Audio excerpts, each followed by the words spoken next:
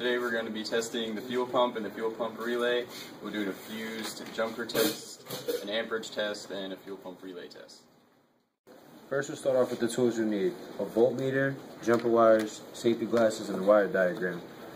The two types of jumper wires you'll be using is a male and a female.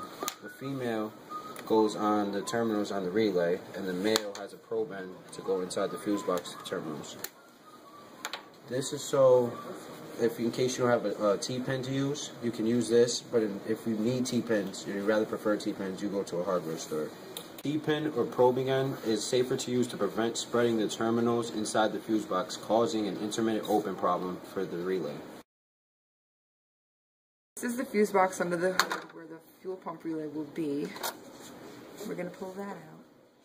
Today we're going to be talking about uh, relays. You supply power and ground to terminals 85 and 86, which uh, forms a magnet and closes a switch. You connect terminals 30 and 87, which allows the computer to control the current to the fuel pump. Now we're going to test the relay off of the vehicle. First you're going to set your ohm meter to ohms and hook up your terminal leads to terminals 30 and 87.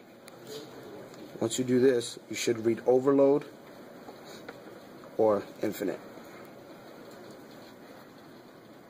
Next, we're going to hook up our jumper cables to uh, terminals 85 and 87 and supply power and ground to them both.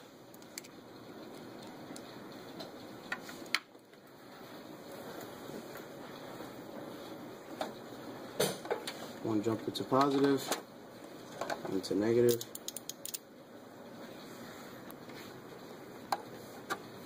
Now, you hook up your ohm meter to terminals 30 and 87, and you should read less than 1 ohm. To do the fuse jumper test, we need a pair of jumper wires. Uh, we are doing this test with the key on engine off. Uh, we are going to jump terminal 30 to 87. Uh, if the fuel pump turns on, we know that everything before the relay is working, and we know that the problem has to be with the relay or what's controlling the relay. Next, we're doing our amp test. We're going to take our multimeter and we're going to put it in the amperage setting. We're going to take this port and we're going to put it in the amp port. That way, we don't damage the fuse.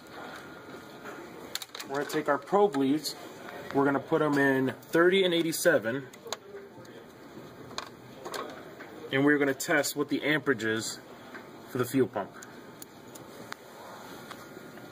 As you can see, it is 5.04, which is good because the specification is under 10 amps.